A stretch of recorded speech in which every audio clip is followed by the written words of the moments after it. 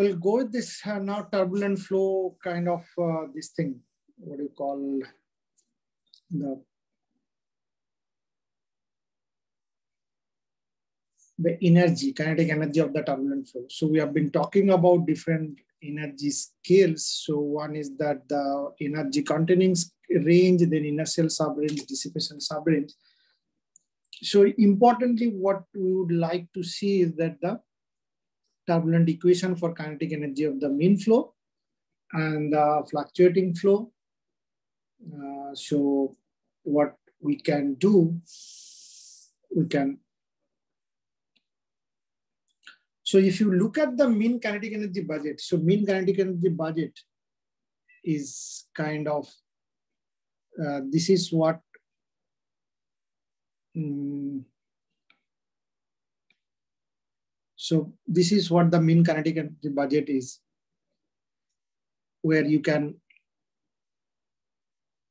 the velocity component, the mean velocity component is that uh, kind of considered as a total energy. And you try to put it in back in the transport equation and finally you get the uh, transport equation. So why this transport equation is important? Because the transport equation is going to give you the idea about the different term which is sitting there. And these terms are important uh, for kind of, uh, so what are these terms? Primarily, if we look at that particular equation here, so there are different terms which are identified. One, two, three, four. So if you see these terms, so these terms are kind of, first term is essentially contribute to the production of the kinetic energy. And the second term is the, this is the term which is kind of given the spatial distribution, redistribution of the energy by viscous and turbulent diffusion. Third term is kind of a loss of energy due to stress. And finally, you see the term which is there, which is your viscous dissipation term, this particular term.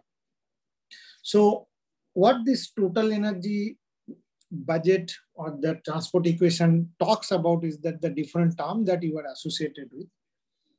Obviously, starting from the, so if you see even this transport equation has the production, distribution, dissipations, and things like that. So it starts kind of giving you. So if you consider a special case now, so the special case in in a way, if you think about like if I have a plane ch channel flow, then you can budget estimate the different terms how they are going to contribute so like your pressure gradient transport equation so these are very standard work that people have carried out i mean to quantify. This is more like in quantify. So idea here is that that am i what am i going to get out of this? So what you are trying to get out of this is that the you try to for a particular flow. So in this case essentially the channel flow. To try to estimate the different terms and the contribution of that. So it will give you, so what does that tell me? It tells me about the contribution of different terms and for a particular flow, the contribution of that. So this is what it tells me. So there is uh, nothing else. So if I try to, so this is a very interesting area of research whenever people try to look at the different turbulent flows and things like that, they try to estimate their different budgets. So which one is going to contribute? And from there, they try to do some scaling and things like that.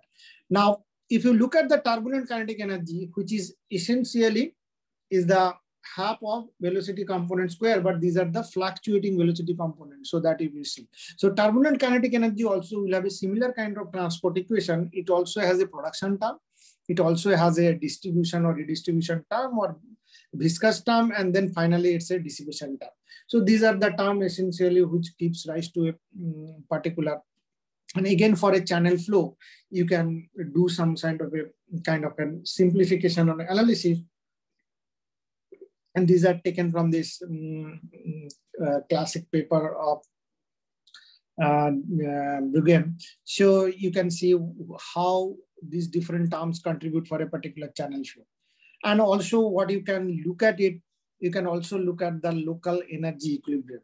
So if you talk about the particular channel flow, so in which layer, what going to dominate? So, so the dominant balance in the log layer is that, so whatever you have production by the action of the large eddies, they're supposed to be dissipated at the small scale. So from there, what you can find out, so this is an idea is that because my energy has to be conserved. So from this idea, actually what you can uh, achieve is that you kind of find out how this dissipation is going to take place. And that's what gives you that if dissipation in the logarithm layer is going to be connected with your u tau, which is a friction velocity and the constant kappa of this, this thing.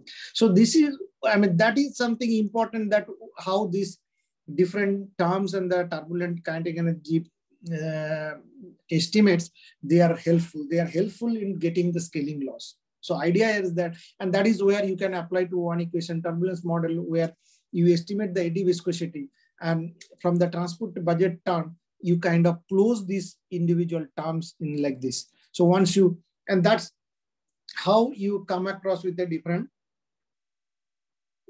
So, but obviously it gives you always some advantage. It comes uh, with some sort of a non a disadvantage. Advantage here is that it accounts for the non-equilibrium effect. Disadvantage here is that the mixing length must still needs to be specified. Okay.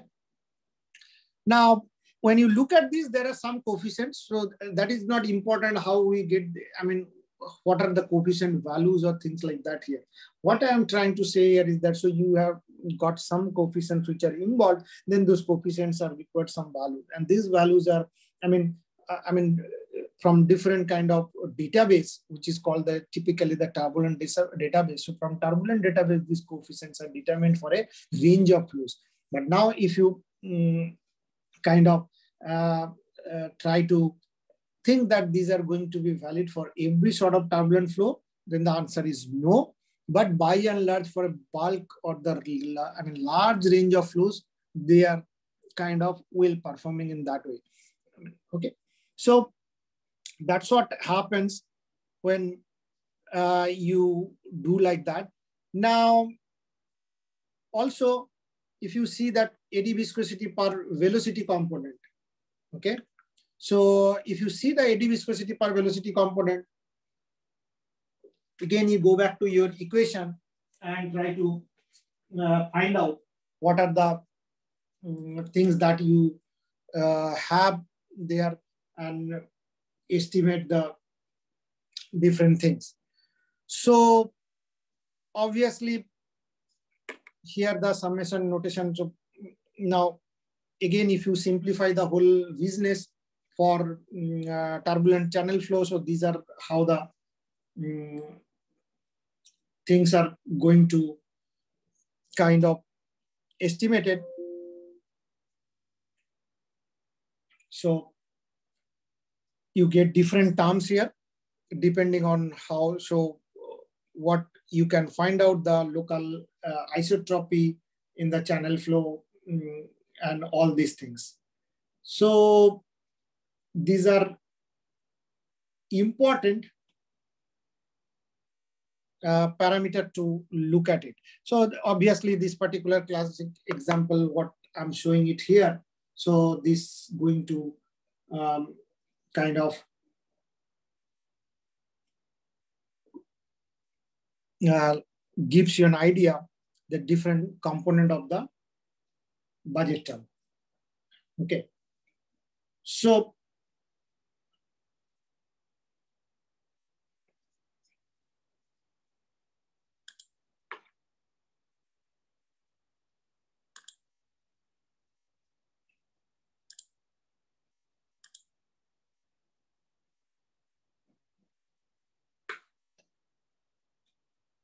just give me a second. So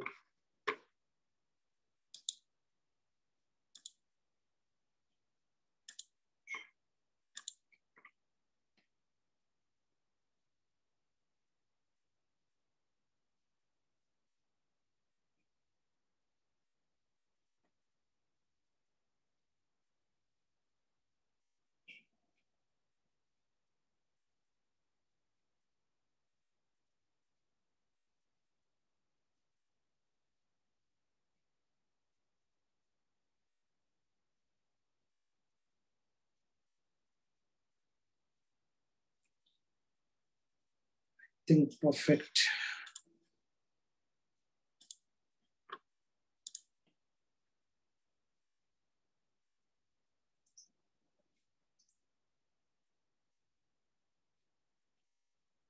Okay, so here you go.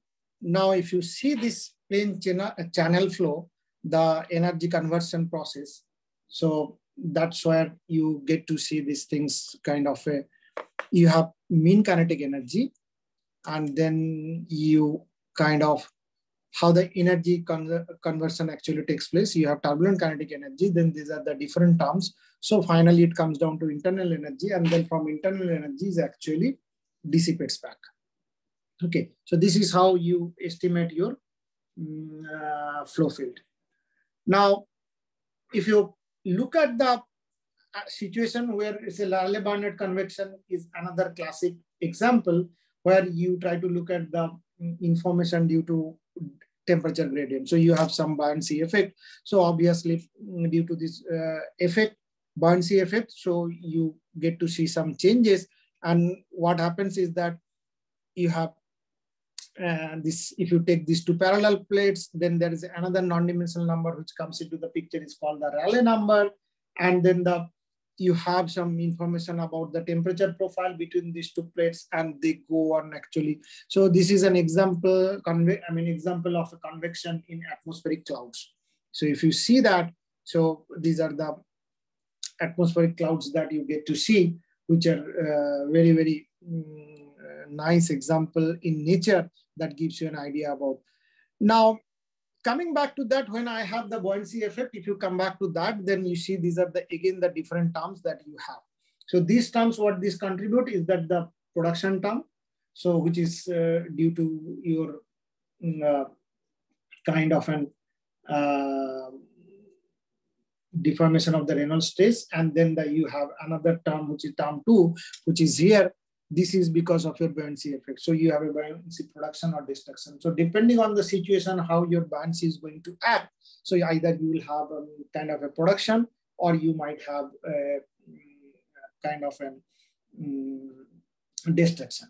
So depending on the situation, you will kind of have a situation like that. Okay. So now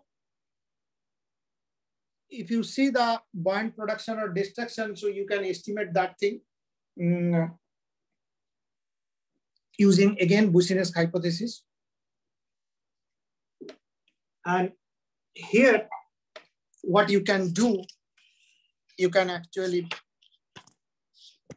kind of look at this effect, which gets you this idea about um, temperature gradients and how this buoyant is going to. So one case you get the buoyant production, other case it's a destruction. So depending on the situation, either, so essentially if you look at that particular transport equation and the term sitting there, either it gives you rise to the production. So production means your total energy is going to be increased or it's going to be, um, uh, if it leads to the destruction, then the energy is going to be down. So again, effect of buoyancy versus shear. So here you compare if you have a effect due to buoyancy gradient and where you try to look at due to shear, which is in a plane channel flow. So you have different numbers to define those things, either um, number, Richardson number, and so all these different numbers are going to go. So all, now you can one can do some now, similarly, you can have buoyancy influence on the overlap region. So overlap regions, if there is an influence, then you can estimate with these parameters, which are going to give you finally some length scale. So idea here is that, so one case you have buoyancy, other case you do not have buoyancy. So because of the buoyancy and this, um, these things, you have some sort of a temperature gradient as well. And so where it's going to impact, it's going to impact essentially the scaling so the scalings are why they are important. The importance because when I do turbulence modeling, this, these scalings are going to be important. How am I going to? So if you see here exactly when I have a turbulent boundary layer, so how these factors are. So these numbers are not important because uh, I mean, I mean the number, all this. What is more important is that you see how they are going to. So essentially, you get some sort of a scaling. So idea is that when I have a turbulent boundary layer, then how that scaling factor is going to operate. Now, with that, if you come to the now if you again recap back your description of the RANS equation, these are the obviously in an incompressible situation. So what is missing here is missing here is that this particular term, which you have called is the Reynolds stress term, so that needs to be closed because that is there is no closure model for this Reynolds stress term, which is making this whole system, I mean, unclosed. So obviously these we have already talked about it. There are two different components. One is the isotropic, another is the deviatropic parts. And then you estimate the eddy viscosity with your characteristics length scale. So the first hypothesis was that the turbulent viscosity hypothesis number one, where you can make some analogy. So with the molecular stress using kinetic gas theory. So you consider this kind of 1D laminar profile, and then finally you kind of get to correlate from the characteristics length it, your mean free path, mean molecular speed. So you go to that micro, essentially what happens in fluid mechanics, you kind of can get back all your macroscopic property from the microscopic. But now one can solve all this stochastic turbulence flow field using really at the microscopic level, but it's going to be really compute, I mean, computationally expensive, time consuming. So the best possible way that we solve in the using continuum hypothesis uh, in my macroscopic state. So now similarly, you have second hypothesis where you say that, okay, lambda, which is typically happens is that, that uh, lambda free path, I mean, the mean free path, which is very, very small compared to the length scale of them. So this length scale exactly what we are talking about, which is going to produce the large size eddies. So then if that is the scale, then you can say that turbulent mixing is essentially become non-local. So then turbulent viscosity hypothesis still give you some reasonable result when your production and viscous dissipation rate are in local balance. So that means what it says that whatever kinetic energy production is there, so it has to be balanced with your local destruction. If there is no balance, then obviously that's going to be somehow accumulated in some uh, somewhere. So then follow the similar thing. So there is a simplest model, which is called the turbulent viscosity model, constant turbulent viscosity. So then you can estimate your eddy viscosity with this kind of um, a simplified system. And then when you come to a slightly advanced one, where you use the Prandtl mixing length model, where you say that eddy viscosity is based on some mixing length. So these are very simplified approach. And I, will come to that, how these things are getting complicated as you move. Uh, so you need some mixing length uh, data and things like that, then you can estimate. So these are the best possible way to estimate the eddy viscosity. And once you estimate the eddy viscosity, you are going to kind of close that Reynolds system, which, which remain unclosed in that particular system. Okay. So, and now continuing that, so you move to one equation turbulence model where you have a turbulent kinetic energy, which you solve.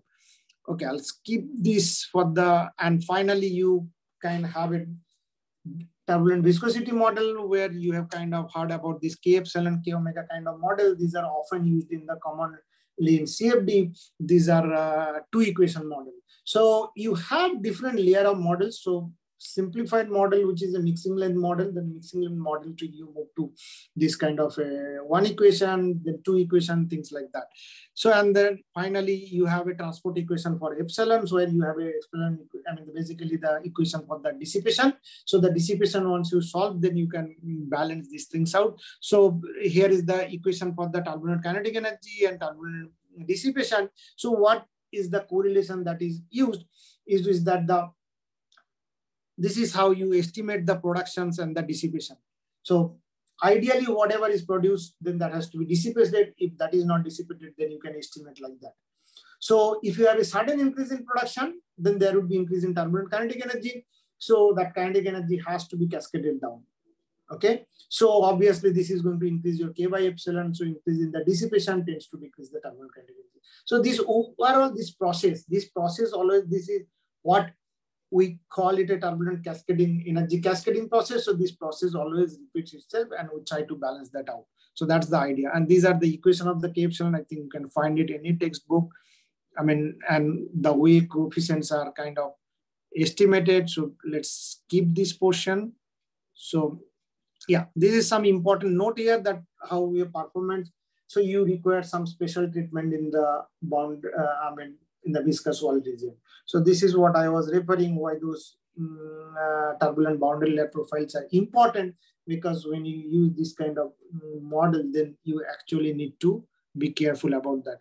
And the slightly higher end model is the Reynolds trans model, I mean trace model. What it does that now instead of you have that mixing indent theory or two equation capsule models here, what is happening is that these are the Reynolds stress terms. So these Reynolds stress terms, you actually have a transport model for that, which also having some production term, then viscous and turbulent transport term, pressure strain term, viscous dissipation. So you solve this individual component of the Reynolds transport equation as an error stress model. So what it does, it does that probably it is going to give you a better correlation or closer for the Reynolds stress term. That is number one.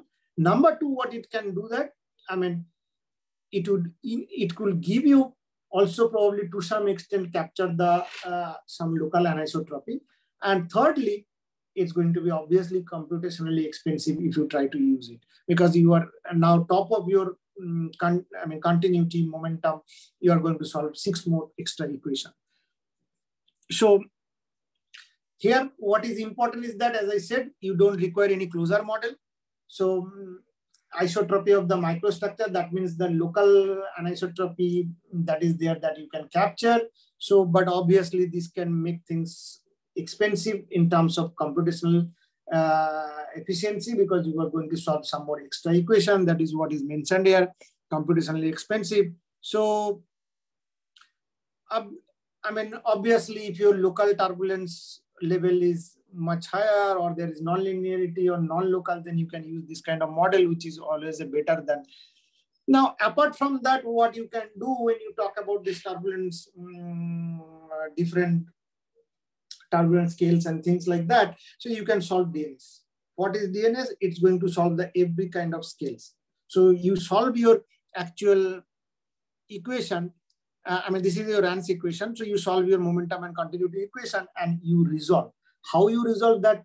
You resolve through your small scale of the grid and things like that. So um, you are going to capture everything. So this is what DNS done. So I mean, this is also taken from this particular paper. So you can see the flow structure that DNS captured. So every small bits and pieces of the flow structure that you will be able to capture.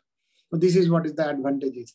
Now, obviously, as I said, DNS can give you the complete description of the turbulent flow field so that every scales, length scales and all these things, species scale, you can capture, but obviously it's going to be expensive in the sense, yeah, I mean, you have to, to resolve that kind of uh, level to that level, your grid size is going to go up, then you can always um, kind of um, capture things like that.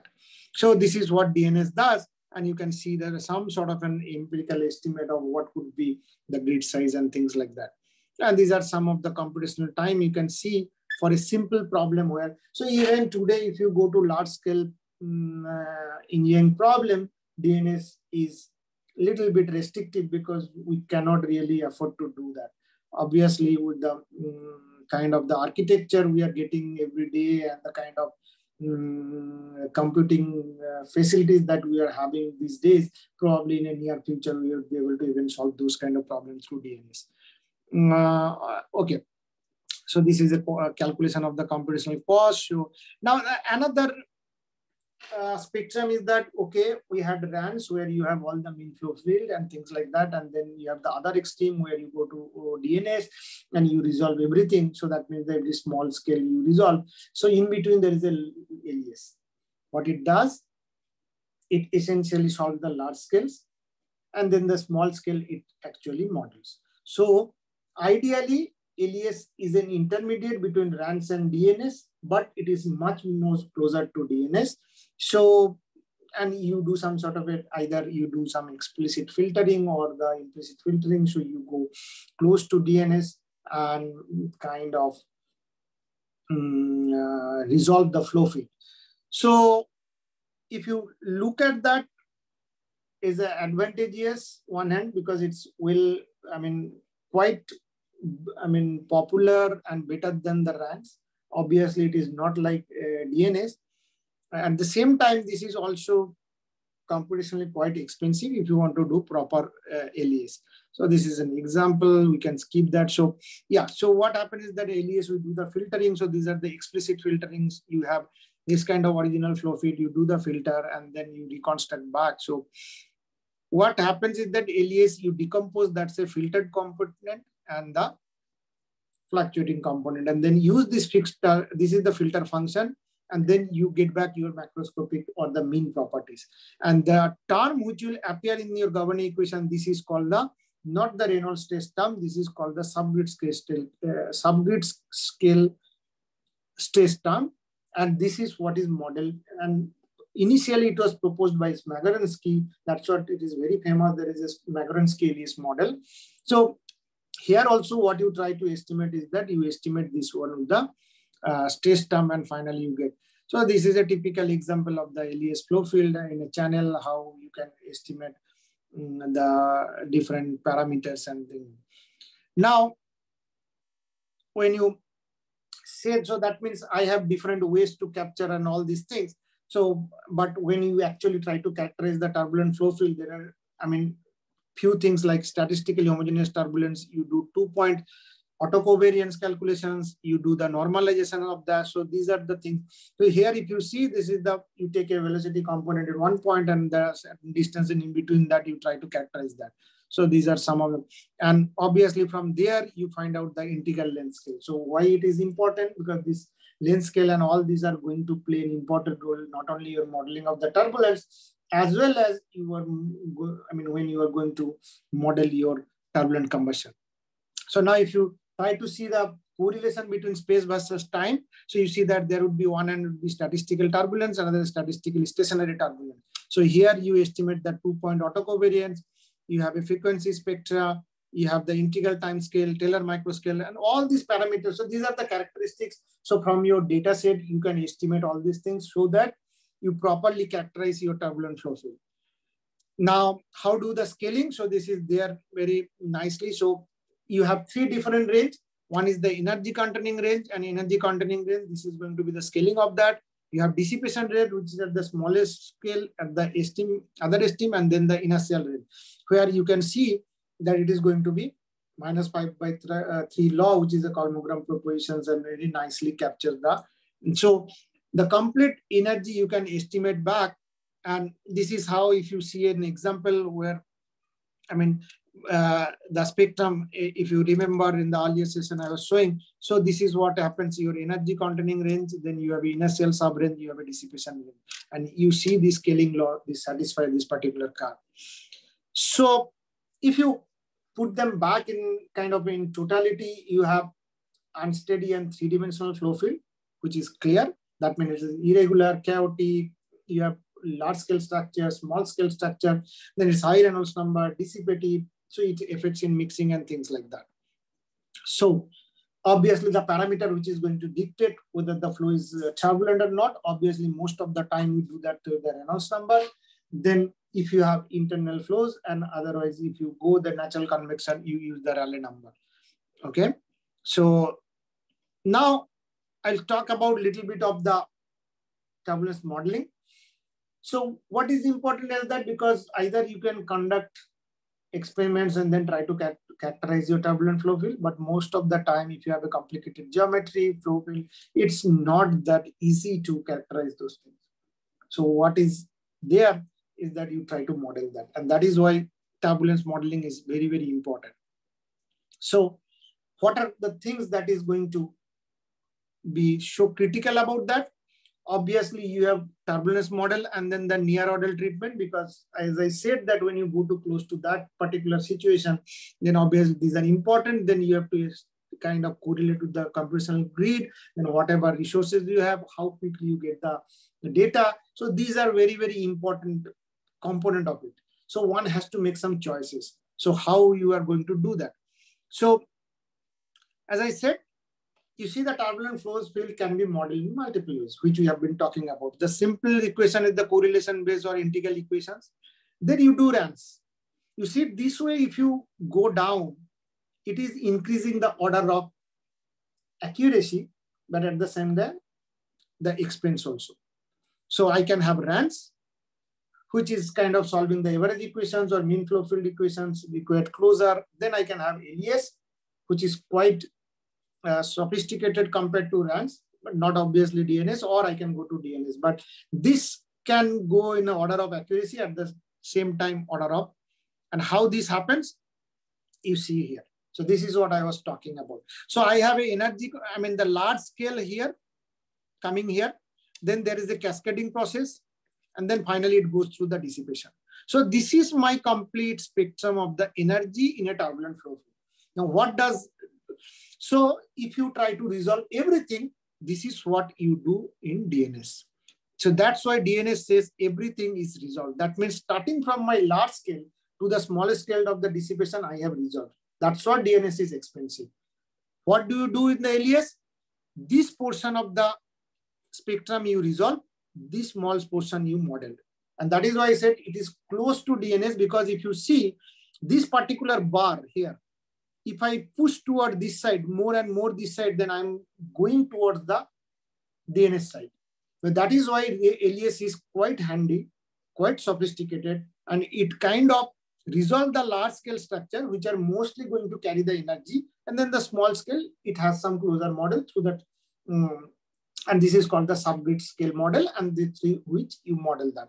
But on the other extreme, in the RANS, you have pretty much maximum portion is kind of modeled.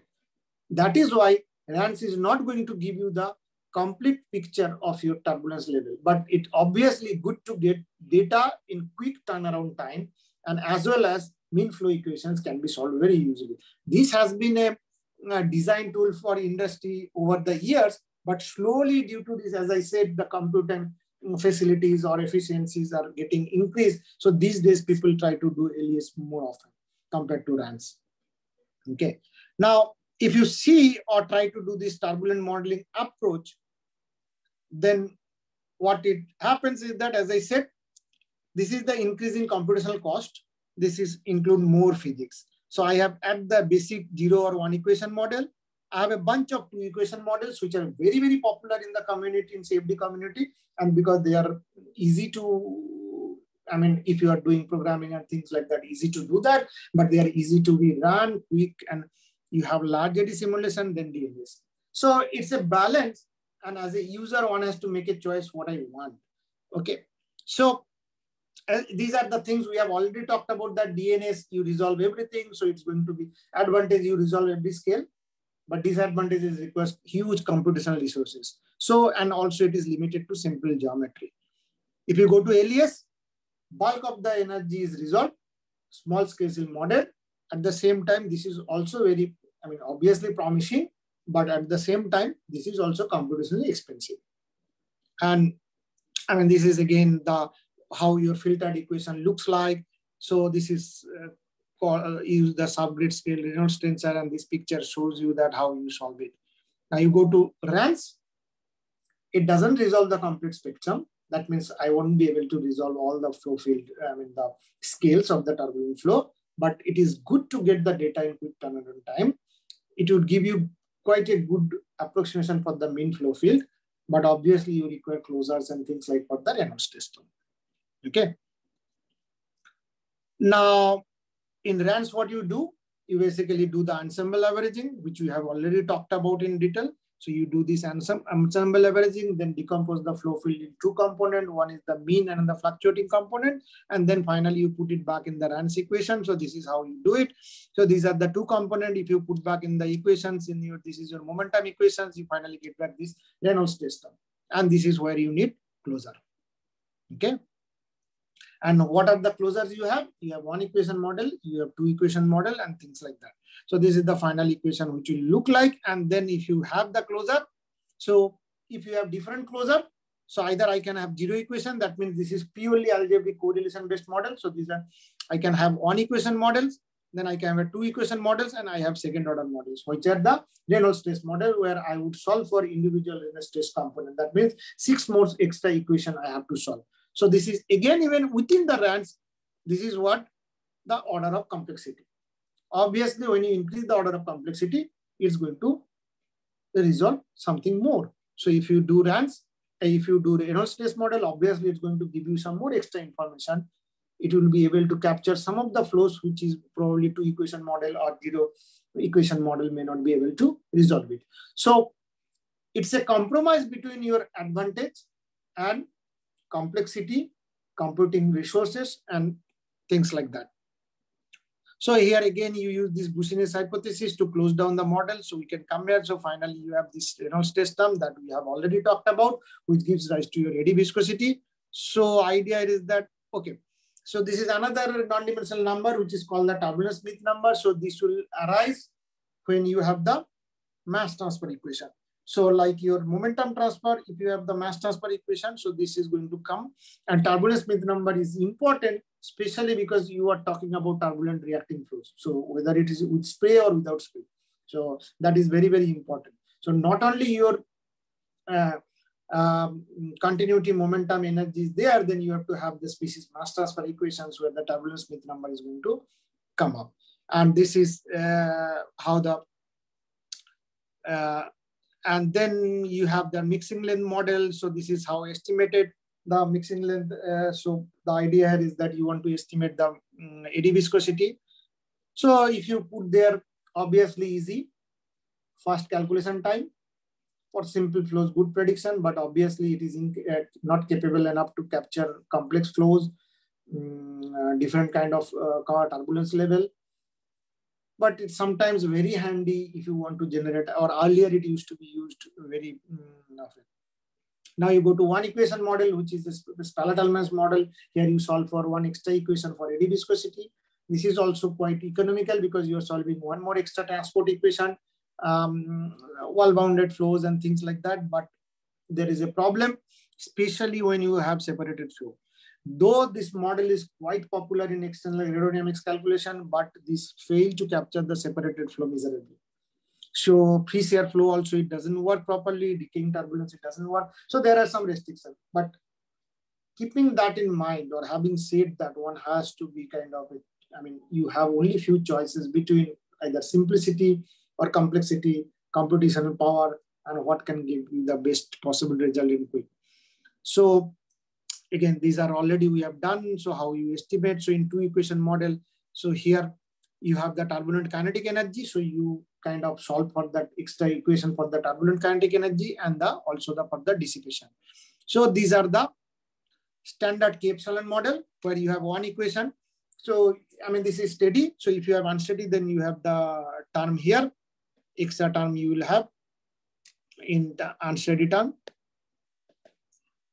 So you have convection. So like any generate transport equation, you can see it has convection term, it has generation, diffusion, dissipation. Similarly, dissipation rate also you have generation, diffusion, and destruction. So it just behave like a uh, standard transport equation and you have all these coefficients which are empirical coefficients. Now, how do you find out that? So these empirical coefficients are proposed for after doing a lot of experiments for the standard flows and for other, I mean, they work, as I said, for a wide range of flow, they work nicely. But if you go to complicated flows, then they don't work properly. So this is again, okay. Again, if you look at the min flow equations where you have, as I said, the unsteady term. So this is the unsteady term. This is the convection. So this already we have talked about that. Um, yeah, this is turbulent kinetic energy. So here is the, okay. So you have some sort of an uh, modeling is required and these are the typical values of that. So let's keep that. Uh, similarly, you go down to turbulent dissipation where you have a transport equation for this. So, um, so what you do, you get an equation like this. So this equation also having an unsteady term and you have so many other terms sitting here. So obviously when you go from mixing length to one equation to two equation, these are the, uh, I mean, price that you pay it becomes a little complicated. But as I said, these are quite popular and work for so this is the final equation if one has to look at it very nicely and these are the model constant, you see. So these model constants are good, at the same time they are problematic. Because if you change, I mean, try to use the uh, this turbulence model for different flows, then obviously this may not work. So again, so the idea is that one has to be careful when you are going to use this kind of model, what kind of flow. So from your K and epsilon, you estimate the eddy viscosity like this, and then close the Reynolds term like this. Okay. So this is how you do. So what one can think about, obviously some advantages, simple, easy, reasonable predictions for all flows, but obviously these are the flows you can see it doesn't work. So there is a lot of restriction. So if you blindly use epsilon flow for all sort of different turbulent uh, kind of situation, this is going to give you, I mean, wrong results. So, uh, so for that only one has to understand when you use a particular turbulence model, especially from the modeling aspect, what it produces and what is the underlying physics that it can capture. So obviously when you do modeling, it cannot capture everything. So you have to kind of aware of what you are using, okay? So in this category, you have some other model like K epsilon RNG model, realizable model, K omega model, algebraic stress model. So there is a bunch of ones which one can use. So these are some of the improvement over RNG K epsilon. So some flows essentially like a standard K epsilon compared to that, this RNG works better. Mm, so mm, like here, the some improved predictions that you can see that some of the flows it can be captured uh, better. So these are the equation for the RNG. So you can find out in textbook also. Uh, no need to go through these equations. So um, these are, yes, again, you have some improvement over realizable K epsilon. So, I mean, J8 and all these, you can find some better mm, prediction. So if you see, even the family of two equations, different models behave properly for different scenario. So one can kind of use this kind of uh, uh, predictions where they are going to use them, be careful about that. So these are again equation for realizable K epsilon. So only thing if you see there is a change here, which is important. So finally, you estimate your eddy viscosity like that, but the C mu, the coefficient is calculated with some extra factor. So these extra factors are going to play the critical role in improvement of the prediction. Okay, rest looks fine. I mean, these are the um, C epsilon. So yeah, so it has the normal stress. So we can skip this. Okay. Similarly, you go to K omega model. So omega is the turbulence frequency. So instead of K or epsilon, you can solve for um, K and omega and you get an estimate. So, and then you can have algebraic stress model. So these are the um, different variant of the uh, family of this uh, equation system. And if you go to nonlinear model, then you go for this Reynolds stress models where you have this which you solve for the transport equation. Now the second order closure, that means the Reynolds transport model where you have the convection terms. It is Rij here, this particular one which stands for your Reynolds transport component. That means Uij, Ui prime, Uj prime. You have production, you have kinetic energy, destruction, diffusion, and all this. So it's just like an another transport equation. So what you get, generation equation is computed like this. Then you have pressure stress strain correlation, you have dissipation, then you have turbulent diffusion. So if you look at this term, what it does that, obviously it does some more extra bit of calculation, but at the same time, it, it is able to perform better for certain flows. It can give you some extra bit of information about the local turbulence and things like that, but it's going to be expensive. So like, as I said, it can be used for predicting some complex for like swirl flows, rotations, high strain rates. So like, I mean, some of them are mentioned here, okay? So yeah, this is your finally, if you write in a generic form, this is the Reynolds stress transport equation, how it looks. I mean, it has all the component. So, and I have already shown you how the components are going to be estimated. Um, okay. So the important point to be noted here is the production term is in exact form. Obviously, the diffusive transport term is use the gradient hypothesis. So that's how you estimate and dissipation term, which is epsilon, which is a standard epsilon equation, you calculate that from pressure strain correlations are very important. So this includes the pressure fluctuations and things like that. So uh, that includes between the eddies and the region of the flow where you want to calculate the mean velocity. but it doesn't change. And obviously transport due to rotation is also in exact form. So these are your production term. You see that this is your diffusion term transport where you this is a, uh, this is uh, your finally the diffusive transport model here. And then you have the dissipation, which is also in exact form. This term is important. This is a pressure strain correlation term, which includes the pressure fluctuation. You see this pressure fluctuation is sitting here. Now, as I said, this involves a lot of physics, but at the same time, one has to be careful because what it may do is that um, it can create some sort of an, I mean, I mean, uh, numerically expensive is one aspect of it, but the other aspect is that because of this, some of this term like this pressure strain some things can become numerically also steep. So the stability of the equation system can be an issue sometimes. Obviously, the boundary condition and all these are very important aspects. So one has to do that. So there is no question about it. So it is depending on any particular I mean, calculation that you do. So where you have to do that. So if I kind of put them together, if you see, so you have Spalart-Allmaras model, which is one equation model. So simple one, then you have standard K epsilon model, RNG, realizable, standard K omega, SST K omega. So it talks about what you solve for, which is a K and epsilon or K and omega with some improvements to different levels. And you solve for RSM where you solve this second order terms. So it's again some sort of an order of complexity increase. Obviously, it allows you to get you some extra bit of information. So now if you talk about the behavior and uses, obviously Spalart-Allmaras model would be the economical out of this particular lot.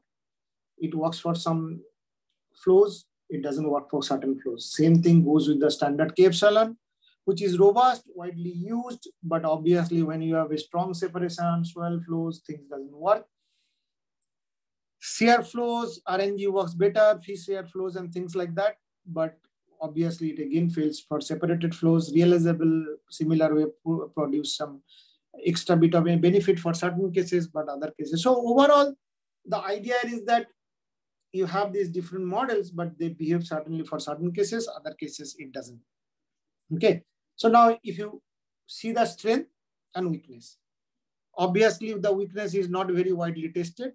Standard K epsilon is gives you some results, and widely used, can be robust. RNG, obviously some limitation for isotropic eddy viscosity. There is a limitation for realizable. Reynolds stress requires more effort, but obviously some strength are there. It can capture more physics. Uh, some round jet, when you have a free round jet, it realizable K epsilon works better than all of these. For some complex behavior, swelling flow, RNG works better. Standard K epsilon works for certain standard flows. Now, all this model, one is important factor is that the near wall treatment.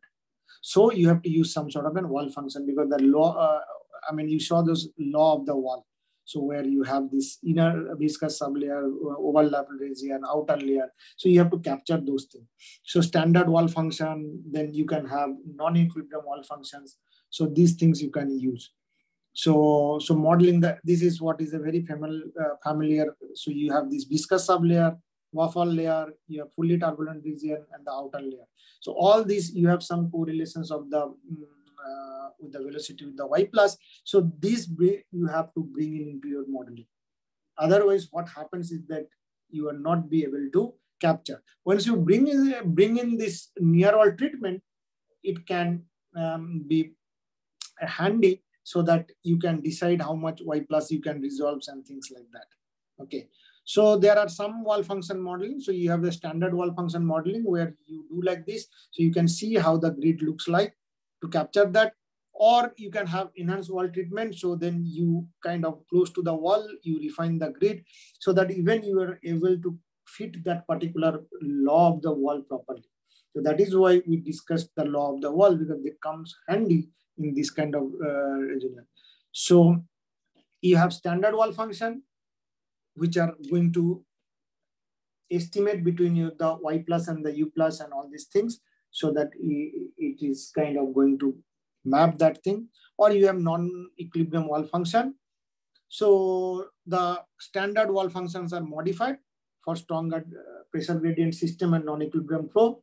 So this works for some, some sometimes for the separating and reattaching flows when you have body forces. So these are the different near wall treatment that you have. Or one can have enhanced wall treatment. Okay. So that means you have some extra bit of modification where you use this enhanced uh, wall treatment and you may have two layer model where you can kind of do some sort of blending and things like that. So that gives you extra bit of more flexibility and sometimes some sort of robustness and things like that. Okay. So obviously when you do that, the one important parameter that is required to be calculated is the y plus because this is something is very, very important. So once you do that calculation, then you can see how much you can resolve the near wall for a particular flow, how much is required. Then accordingly you choose, okay, what model would best fit, for that system. Okay. So now you have near wall modeling strategy. So you have the standard wall function or non-equilibrium wall function.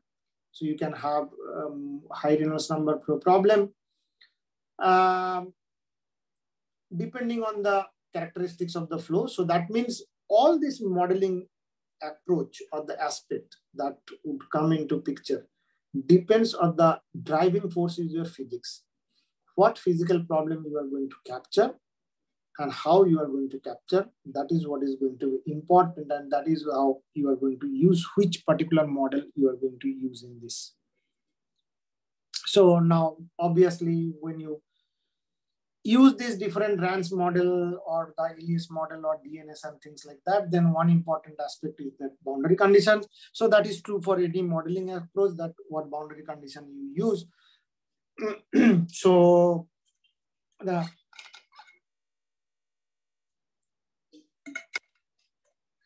so mm, turbulent intensity, turbulent length scale. So based on which parameter you can use those things, so those one has to be kind of doing the calculation for those parameters because these parameters are going to be very, very important uh, in terms of boundary conditions and things like that. So once you do these calculations and the, I mean, the boundary conditions aspect and all these things, so these are uh,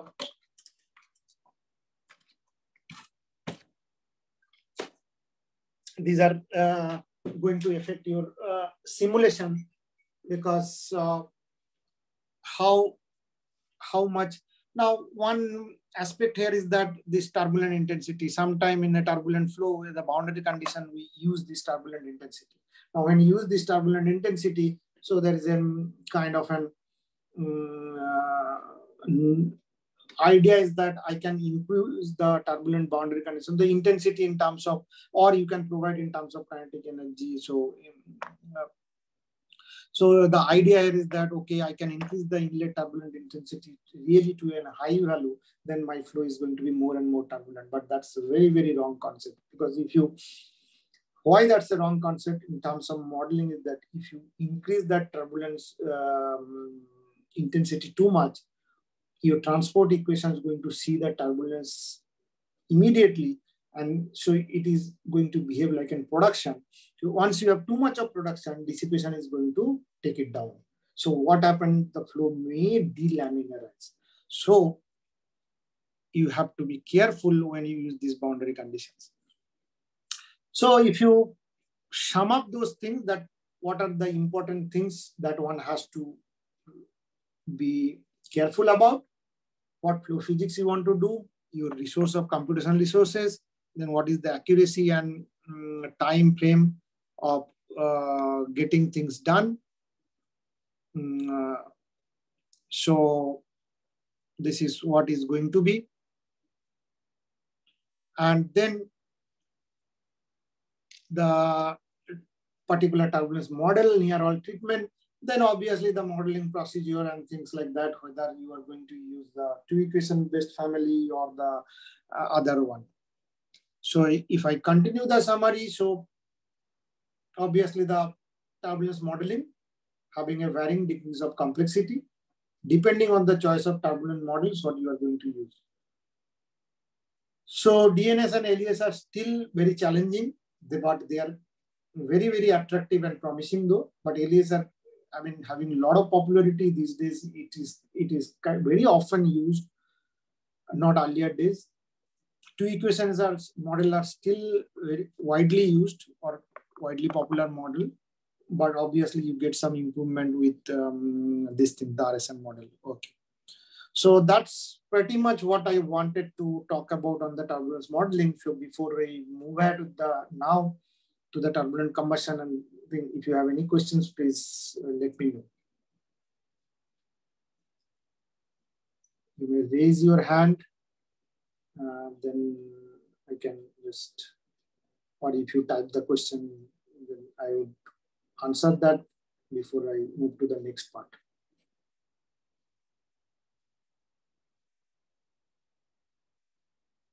Any question, doubt, or anything?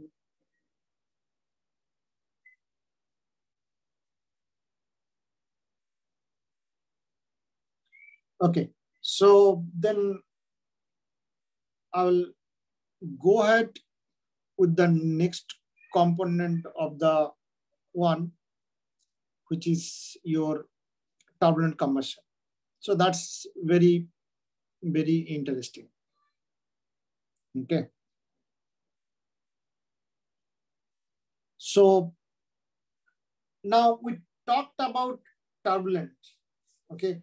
And turbulence is your underlying behavior of this all reacting system that you are talking.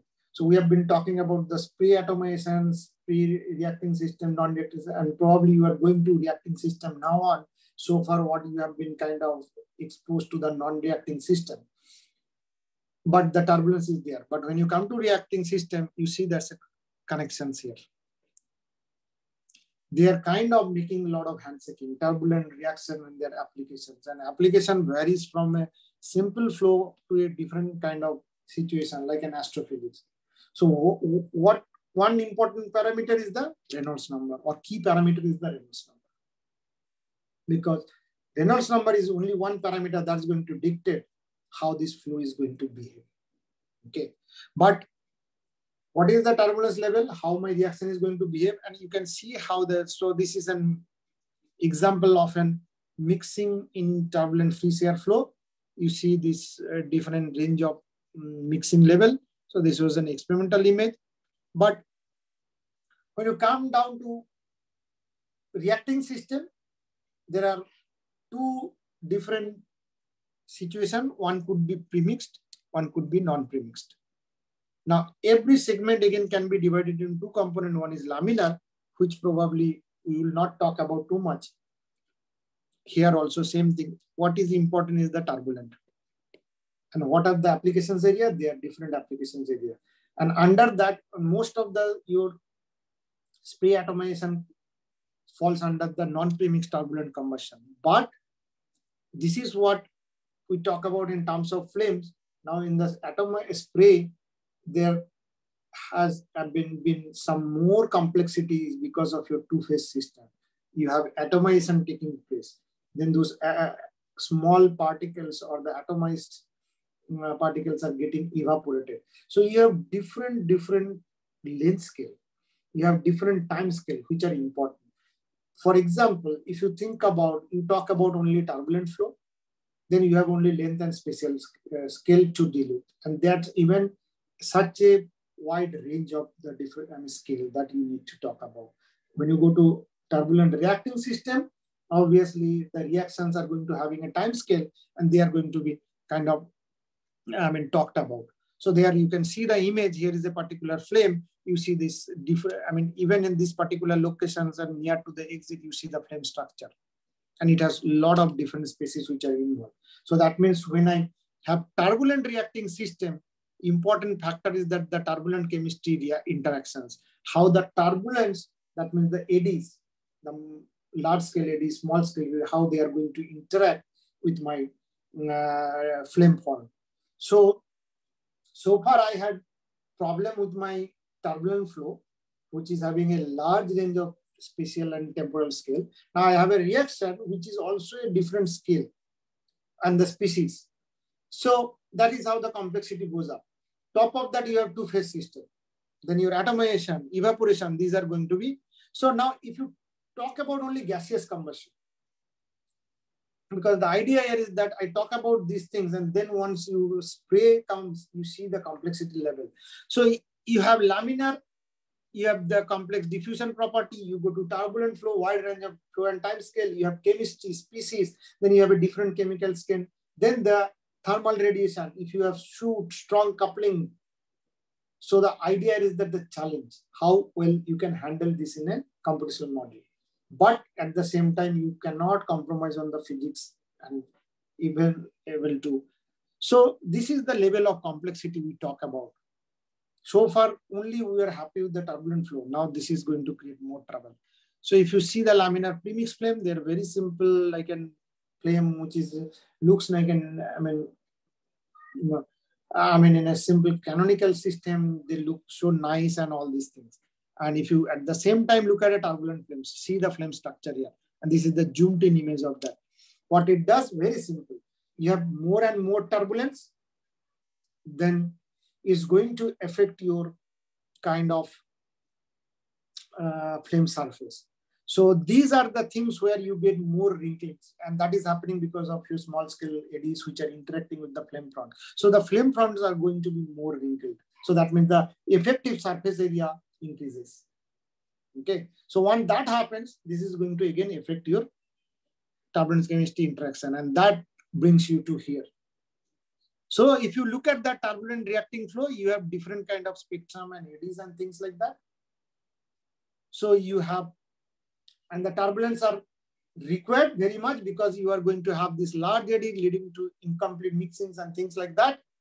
Then you have this turbulent reacting system, which is going to kind of uh, having this small scale mixing, diffusions, interaction of this flame front, and it's going to effectively increase your flame surface. So once you increase your flame surface, so that means you have this wrinkling in the flame surface. That's going to increase your effective surface area. So in a nutshell, it's going to increase your volumetric heat release or the reaction source term. So once your reaction source term increases, that is what the heat release is. So that is going to increase your local turbulence because once you have a heat release increases, it's going to increase your temperature. So once it's going to increase your temperature, it's going to reduce your density. So that means if you want to conserve your momentum, automatically local flow velocity increases. So that means your local turbulence increases. So if your local turbulence increases, that's going to again affect the spectrum. So this becomes a closed loop cycle. So the turbulent reacting flow is such a complicated system because of this. So you cannot eliminate one from the or decouple one from the other. One can say, okay, I resolve my turbulence. I don't worry about my reaction system, but that doesn't work in that fashion. So they are going to effectively interact with each other and they will have an exchange of their interactions as well. So if they don't have the interactions, then there would be no problem, which is a laminar situation. But in turbulent situation, they are going to interact heavily. And that's why turbulent reacting flows are challenging. Now you are talking about here sprays. So apart from this, now you have atomization, you have evaporation, and then the reaction. So that's the level of complexity you are talking about that. Okay. So once you talk about that, then obviously this we have already talked about. Your length scale is important, smaller scale is important, then dissipation is important, turbulence and summer is important. These are the parameters that you often talk about in a turbulent flow field. Now when you come to chemical time scale, so now there is a problem here because your flow time scale goes in a different range and this is how your chemical time scale go. So there is a huge order of magnitude change. So here this is our integral time scale. This is your Kolmogorov time scale. Now, when you come down to reaction, there is going to be another time scale, which is chemical time scale, which is way smaller than that. So how are you going to map that? Because if you try to solve your system at the chemical time scale level to resolve that, then it's going to take huge time, which is next impossible to do even today. Because the, you can see the chemical time scale range. So that means species to react or any reaction to happen and it's a multi-species system that you are talking about. So you need some handshaking. So you kind of do some compromise. And that's where the modeling comes into the picture. And we talk about combustion models, we talk about turbulence chemistry interaction models. The turbulence chemistry interaction models are nothing but making this handshaking to reduce the gap between these different length and time scale. And that's what, apart from this turbulent Reynolds number, you have turbulent Damköhler number and Karlovitz number. These are two important numbers which pop up. And that creates a ratio between turbulent scale to chemical time scale, chemical to Kolmogorov time scale. So you take into account that different time scale, that integral time scale, chemical time scale. So all the time scales are taken into account through this non-dimensional number. So apart from the turbulent Reynolds number, you get introduced to these two numbers. So whenever you talk about any reacting system, if it is premixed or non-premixed, depending on this Damköhler or Karlovitz number are going to pop up. And they are going to pop up because you are going to do some handshaking errors. You cannot solve your system or deal your system at the chemical time scale level. That's the idea. Now, if you see, if you have inert flow, then Schmidt number is one and the Kolmogorov scale is like this. If you have premixed combustion, then you have thickness. So you have Karlovitz number, which is going to play a role. And if you have non-premixed system, then your flame thickness is not important, but it depends on the local condition of the mixing and things like that. So one can do different kind of reaction flow analysis like you have, these are multi-species system that you are talking about. So the reaction doesn't take place. So this is a methane combustion. So in a, one can think about methane combustion in this way that it is going to produce CO2 plus H2O. Okay, this is not balanced though, but that's a global reaction. If you go to this kind of multi-stepping, so this is how the methane combustion actually takes place, breaks down to multiple intermediate stages. Okay, and then it does the work. So this is what you have to capture.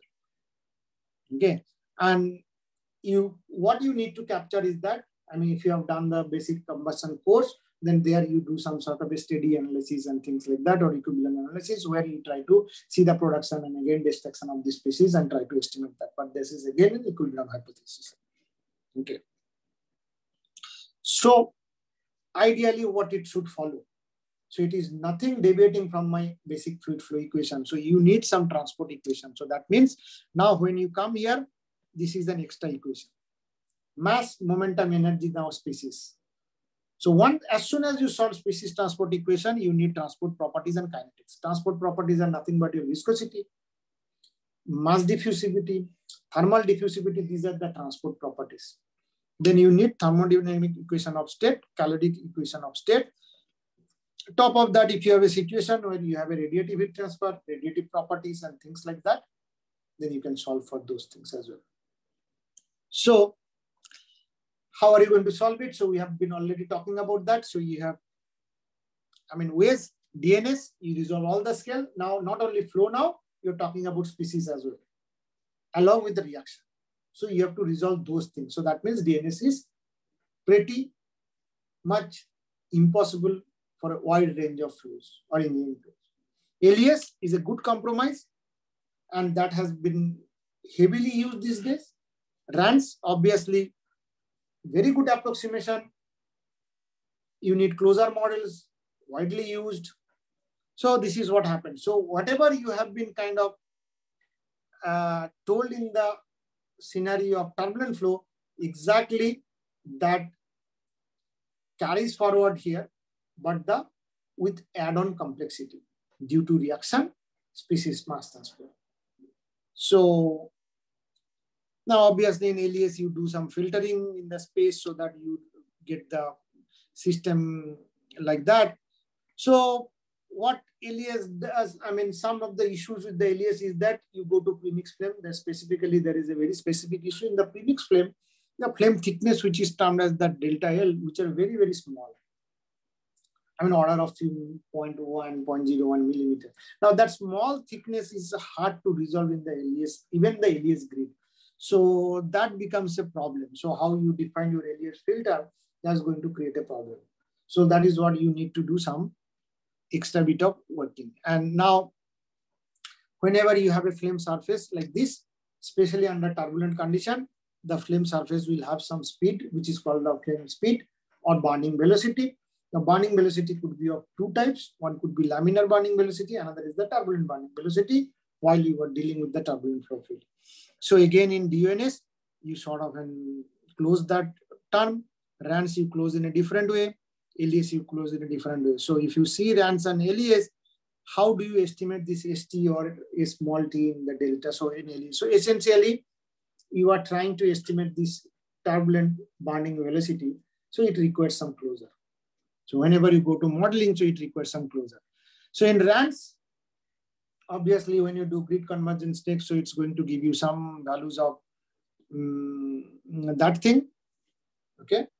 So it gives you some closure uh, here.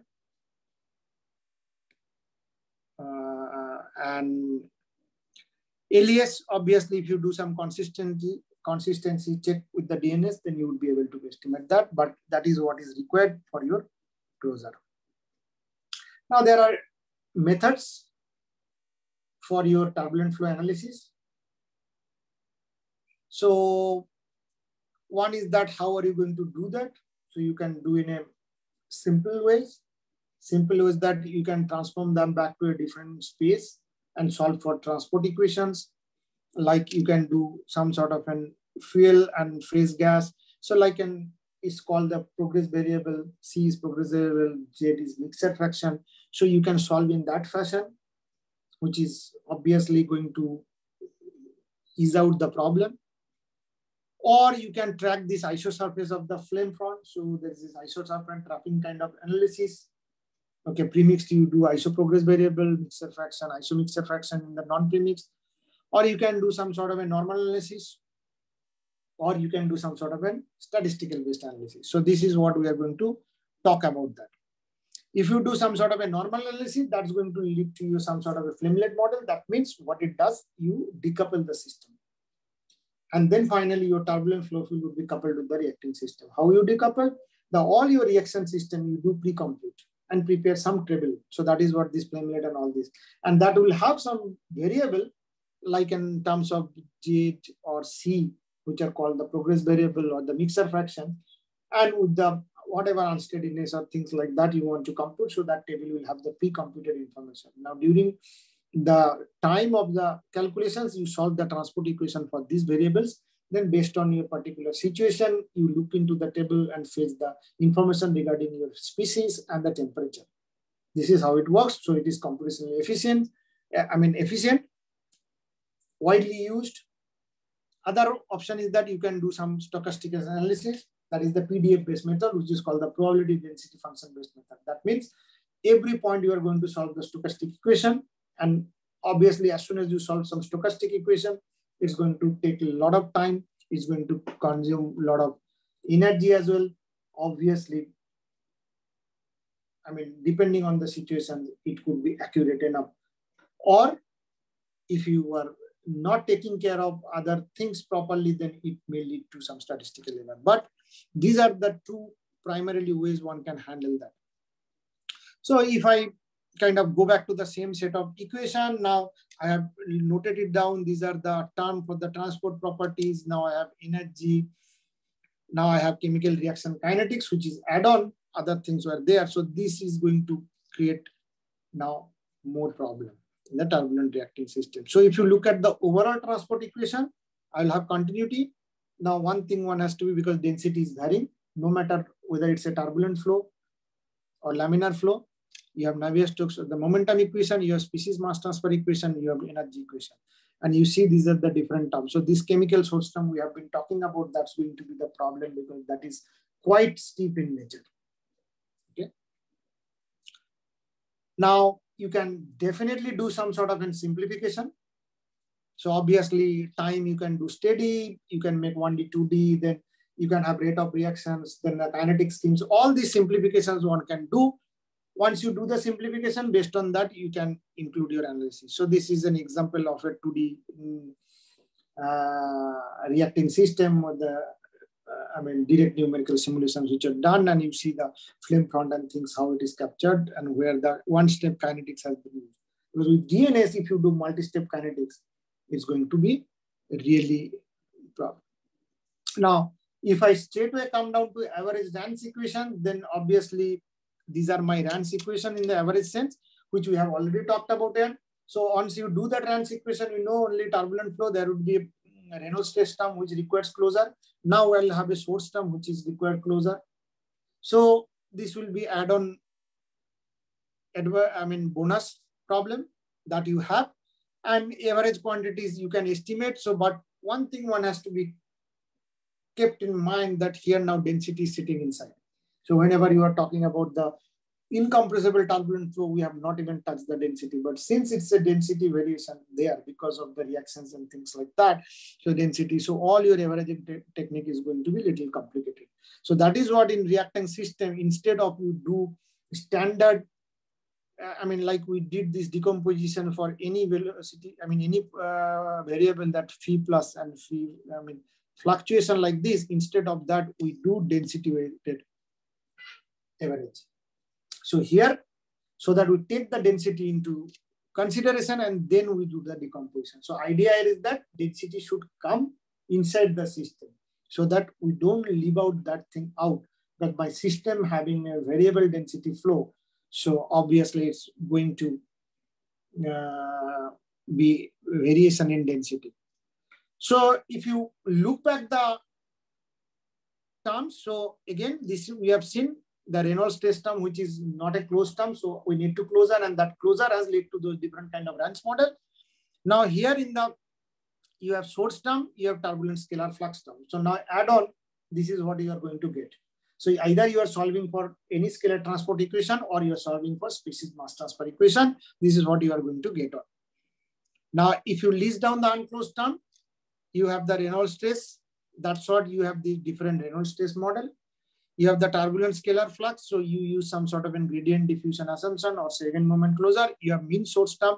This is what is going to give rise to different kind of combustion model. Or you call it the turbulent combustion uh, chemistry interaction model. So this, so all of this, if you see that I have the governing equations which is going to govern the flow physics, then how am I going to kind of uh, and model them? And when I do this modification to the equation, there would be always some terms which are unclosed, and then unclosed terms uh, to be closed, and these closure are going to give rise to this different kind of model. So obviously if I classify, so if you have any mode of combustion, then this laminar rates, eddy dissipation, transported PDF, which are going to be applicable. If you now go very specific to non-premixed one, then mixture fraction based fast chemistry models. If you go to premix, then flame speed closure and things like that. So we'll touch upon those things quickly over there. Now, as I said, depending on these things, I can have simple model like this. I can have statistical model. I have transport PDM model. So that means some sort of in complexity increase. Now, if I go very specifically turbulent premix flame, then these are the models which I can use. If I go to non-premix, these are the model what I can use. Okay. So if you see the simple way of doing that. So you have a transport equation for the reactive scalar. So that reactive scalar could be species mass fraction. So you have basically their species mass fraction and the temperature. If you put them to one variable, this is the equation of the balance equation for the reactive scalar. Okay. So one of the term, when you do the decompositions, you will get this term, which is the flux term that you use some sort of a gradient diffusion assumption and that is where your Schmidt number comes into the picture. This is called the turbulent Schmidt number, if you see. Or if you use the average transport equation for the these things, you also get the source term, which is also not closed. And that is having a value. So how the source term looks like? So this is a typical expression for the heat release. Okay. So how you can model that you can simplify you decompose the temperature also two component then you do some sort of a linearization so this is nothing but the linearization using some sort of a taylor series and then you finally get the source term and you see the source term having an exponential term sitting there which is extremely nonlinear in nature so now this source term is going to create trouble when you talk about the modeling and that is why reacting systems are so complicated or complex in nature now, what we are going to talk about in next uh, three days or so, this reacting system along with the sprays. You see the level of complexity. So you can have some mean of that. So these expressions are going to take you to, through that. So that's what the, I mean, you have the reaction source term which is required. Okay. Now this is how your Favre average species mass transfer equation look like. So this is the equation which is uh, remain unclosed. So you do that with gradient hypothesis. Then you have the one step global reaction and then the turbulence. So closure, if you use using the mean value, that doesn't work. That's the idea. So you need some sort of an, and that is why the, the simple models comes into the picture. So we talk about that. So the first simple model is the eddy breakup model. So it was first done by the Spalding in 1971. So it was a very famous model and we tried to look at, so what are the basic assumption in the very fast chemistry? That means as soon as they come and they react, okay? So what it does, that ideally the turbulent flow field, which is there as the underlying flow field, that's going to only react, I mean, affect the flame front but it's not going to interact with the flame front heavily. And that is why you say the fast chemistry. That means the kinetics time scale is not taken into consideration in that fashion. So you are kind of doing some simplification. And that's what you say the simple model. So this was, this has, I mean, worked for wide range of flows in the earlier days, 70s, 80s, but slowly sophistication. I mean, like eddy breakup model where you do, okay, since I had the earlier variation of the simplified system. Now what I can do, I can do little bit of more modification. So I bring in some constant and I bring in this mixing. So this C EBU is the eddy square, I mean, eddy breakup constant and epsilon by K, if you look at it, one is the turbulent dissipation, other is the turbulent kinetic energy. So whatever equations I solve, from there only you get this kinetic energy and epsilon dissipation. So what it does that the, it effectively turbulent mixing sufficiently describes the combustion process, but obviously the chemical reaction is. So from here, there is a development which was done by Magnussen and Hjertager in 1977. So they came up with the eddy dissipation model. So eddy dissipation model, what it does, again, still the assumption of very fast chemistry remains there, but the turbulent mixing time is dominant. So you estimate that like that. So you modify that source term slightly differently. So that is what the purpose. So now, once you use that for the one step reaction like this, so F is the fuel, O is the oxidizer, P is the product. So, and these are the stoichiometric coefficient for that. So you can estimate for fuel like this and estimate for the um, uh, fuel in other, if it is less than the stoichiometric or greater than the stoichiometric. So different situation, you can estimate the now, there are further advancement, which is called the eddy dissipation model, where you have, it is kind of a controlled by mixing, fast chemistry, but you have applicability to mean premixed and non-premixed. So you can connect between your, so advantage was that simple, robust model, but obviously you cannot capture the chemical non-equilibrium. So that means the local extinction and things like that you wouldn't be able to capture also, if you have finite rate chemistry effect and things like that, you would not be able to capture that as well. So these are the problem. So then you have this another sophistication, which is called the finite rate chemistry based model. So you have the finite rate reverse reaction. So you effectively modify the source term. So the effectively you modify the source term. So you incorporate some more extra physics. So this was also proposed. So again, here also, if you see, these are kinetically controlled. Obviously, this is the limit. Then laminar turbulent non-premix case and the source term is estimated from the Arrhenius equation. Obviously, mean temperature is used in the Arrhenius expression. So effectively, the fluctuations and all these are ignored. Temperature locally low. So you take care of rest of the things. So if you see that combination of the EDM and FRCM, so for each cell, the computations of all these are required. Smaller one is picked. So it's a kind of a mixing. So what people said later stage that, okay, I have EDM, which works for certain cases. I have FRCM, which works first, so you combine that. So what you combine, basically you calculate both the parameters and try to see which one is to be picked up. So depending on the reaction rates and other parameters. So this obviously large range of applicability, but still you do not have the turbulence chemistry interaction. So and then later on this proposal, I mean, modified done with the eddy dissipation concept model, where it was taking care of the local rate of, I mean, fine scale structure and the local rate of assumption. So what it does that there is a source term calculation which kind of gets changed. So, but it requires a lot of processing power and all these things. What it does that you kind of break down to the whole uh, kind of uh, computational cell into two segments. One is the fine scale structure where the reaction takes place. So here, ideally, you allow some interaction of the turbulent eddies with the flame front. So EDC was the first model where it was allowed. So if you put them in a summary, if you see the laminar finite rate, solely calculation by the Arrhenius reaction, so turbulence is not considered. If you see FRED, then RSN, Arrhenius reaction rate are there.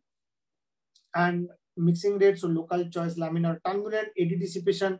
So that is based on the mixing rate. So kinetics is not considered eddy dissipation concept. So it takes care of some sort of turbulence chemistry interactions and allows you to include the detailed chemistry. That means even if you talk about the global methane reaction, so that multi-step reaction that you have that you will be able to capture. So this is the first model in that sense. So, but obviously it is expensive. So once you come there, now you come to the statistical models. So the statistical model are what it is going to do. So you have to obviously introduce some sort of a statistical technique. So this probability, probability density function, which, so these are coming from rightly from your turbulent flow but along with your, in uh, along with your reaction. So what it does in a simple space, what you try to see the randomness of the variable and probability of having that particular event to occur. So this is how you define in the probability. So there is a sample space and you try to see the event to. So probability of that event, so that is what you try to estimate. And the probability is either impossible or possible. So that's how the estimation of the probability. Now probability of the CDF, cumulative distribution function. So you say that CDF, the probability of the event, which is given a space. So it's a ideally given a domain or rate, you try to see what is the probability of having some velocity field. So that's the randomness you take in. And once you take the derivative of CDF, it's going to give you the mass density function. So I'll come to that straight away. So the derivative of CDF is going to give you the probability density function. So that's the probability density function. It is what is going to characterize your statistical. Um, and obviously, it satisfies the normalization criteria, infinite, I mean, all these properties are satisfied. So you can examine a particular interval. Let's say the velocity is there in V and VB. So you can try to see the probability of a particular value. What is the probability of being there? So if in this interval, then how do you get these things? Okay, these are some of the example of CDF and PDF, but yeah, you can skip this. You have this normal distribution and things like that. So, okay, maybe, yeah. Another thing is that the moment of PDF, so once you have this probability density function, then the moment, so the moment is going to be calculated like that. So this is what we have done even in the turbulent flow. So what is the moment? So if n is one, then you get back your mean velocity field. This is exactly what we did in the turbulent flow field. If your n central moment is there, then you get this. So, and if n equals to two, you get the variance. So in when we talked about the turbulence, there we have shown directly, but if you generalize that, these are the, based on your probability density function, you have generalized nth moment that you can calculate. And then from there, you can calculate the mean flow property. You can have the second order variance and things like that. So from there, you can estimate the joint CDF, which is joint CDF means you have velocity in two different planes. That means what you talk about now, it is extended to two different planes. That means there will be two velocity component and what will be the probability of having that velocity component. So that's the function it defines. So basic properties of the joint PDF also you can have. So these things you can keep mm, and obviously this will give you joint PDF structure. And obviously it will satisfy these properties. I mean the normalization properties and marginal PDFs and things like that.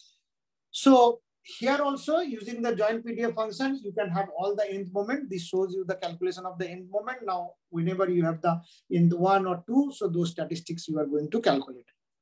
And Then you have the conditional PDF. So conditional PDF is going to say if PDF of UT condition not U1, that means when I'm going to have that U1 based on that. So that gives you the conditional PDF uh, I mean variable. So that means if you have a sample space where you say that, okay, when my U is going to be equal to for V, so what is the probability of having that function? So what it does, it's going to give you the statistical nature of the turbulent field and that's the statistical information that you are using so that you can use for the reacting system. Okay, so what that gives going to give you the transport PDF equation. So what is the transport PDF equation? So we have talked about this joint PDF function. So this PDF function, you can think about in a particular point location or other way you can think about this joint PDF function or having a transport equation in a statistical form, which looks like this. So this P is my joint probability density function, which involves the velocity vector. I have all the scalar in space and time. And that will have a transport equation like this. Now, in transport PDF equation model, so that means when I talk about psi, psi involves all my species mass fraction and temperature, and V involves my velocity component. If it is two-dimensional, U and V. If it is three-dimensional, it's going to be U, V, W. So if you see that one joint PDF function includes everything, and that has a transport equation like this. Now, how are you going to solve this transport equation? So this is way complicated system. So these transport equations are not solved in conventional approach. So basically these terms are there. Also, you see this local change term, then right hand third term in the transport equation, the velocity space by gravity and the mean pressure gradient. Last term on the left hand side control the chemical source term, that means this term. All these terms are in closed form. So they are all in physical space. Okay. So, but when you quote about the chemically reacting flows, the particle, I mean, particularly the interest would be lying in the chemical source term, which can be treated exactly. So that's the advantage that you have with the transport PDF function. But what it disadvantage is that, so now the right hand side, if you see, there are two terms, this one and this one. So this term contains some fluctuation of the pressure and all these things. So these terms are not in the closure form, so they need to be closed. Okay, so for that only you require. So the first unclosed term on the right hand side describes the transport of the probability density function in velocity space, which is due to the velocity of the viscous stresses and fluctuating pressure fluctuation gradient. Second term in the right hand side is the reactive uh, uh, scalar, which is the molecular fluxes. So this kind of going to lead to the molecular mixing. So even if you have this, sorry, the transport PDF equation, you can see that there are some terms which are arising, which are unclosed, so you need. So this is what I'm going to give you. So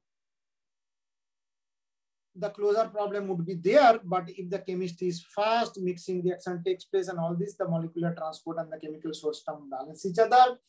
So ideally what you do, I mean, the right-hand side terms which are not closed, you do the closer and that closer. But the problem is that, I mean, how are you going to solve? Because the dimensions of this particular problem is quite high. So it is not solved in a conventional CFD technique like finite volume or finite difference method.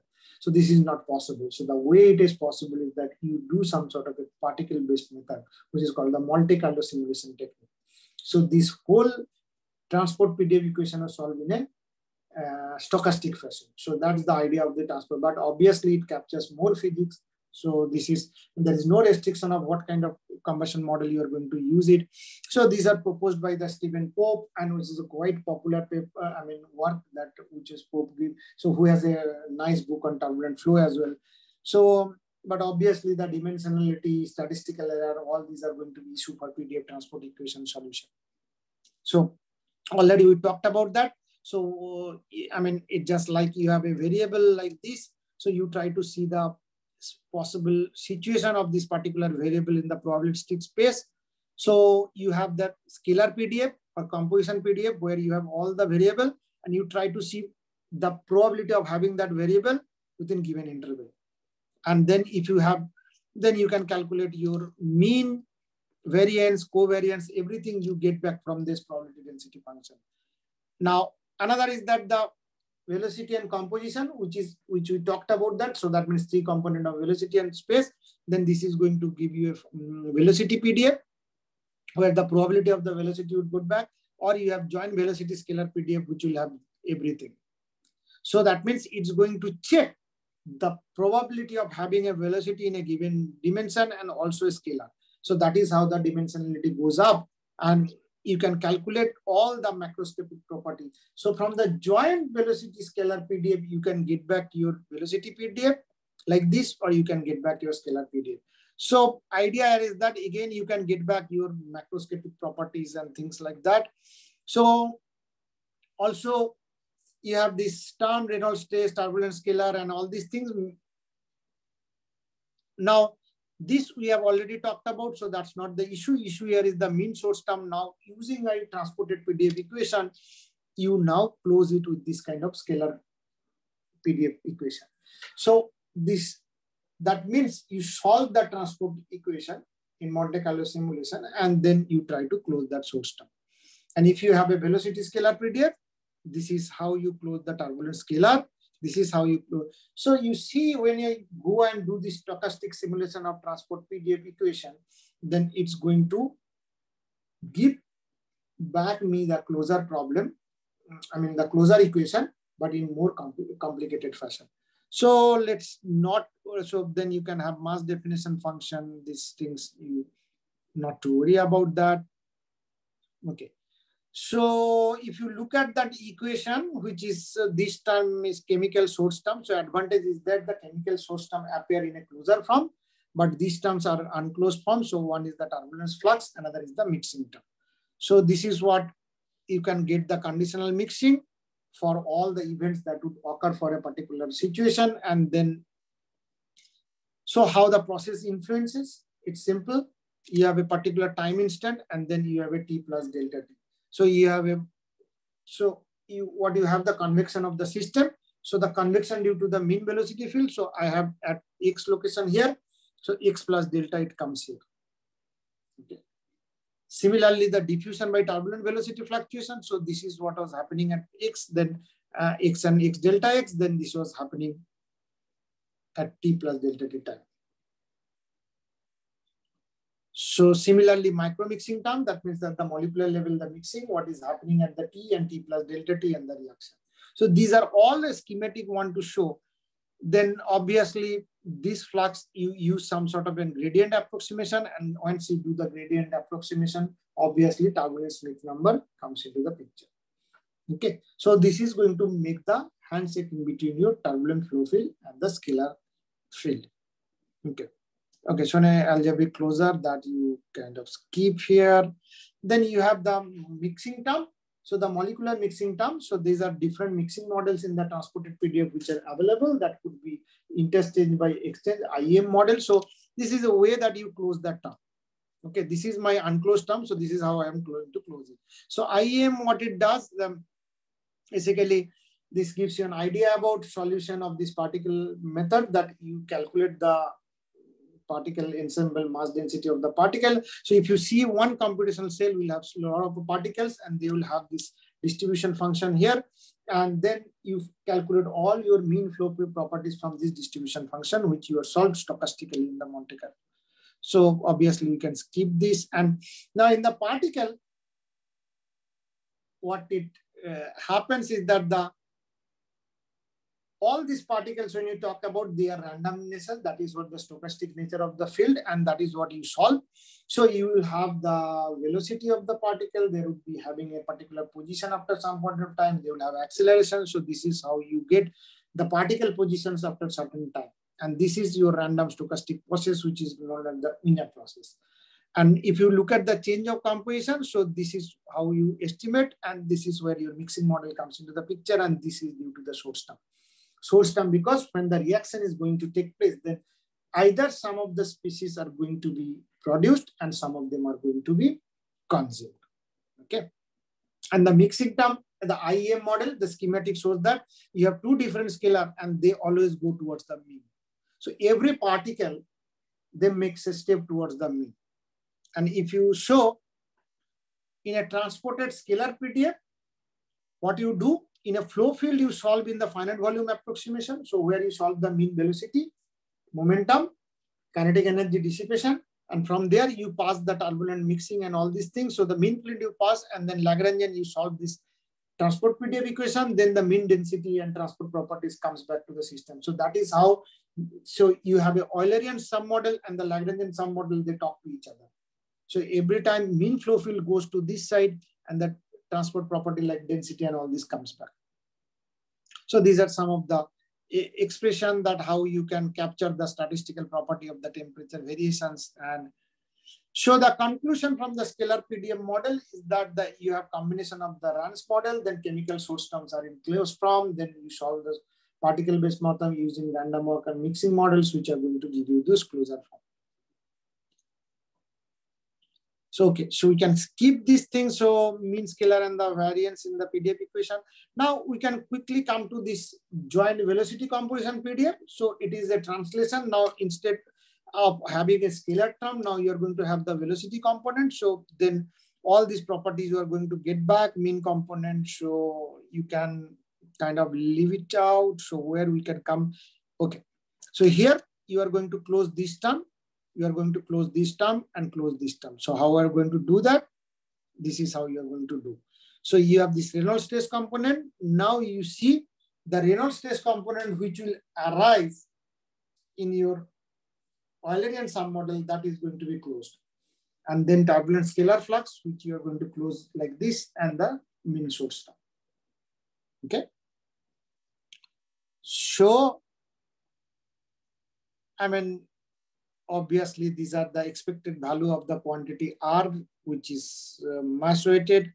Same thing happens, but here compared to your scalar PDF equation, this become a little bit more of complicated because you have this, you have this term and this term, but these all these terms are closed, which are underlined with the green.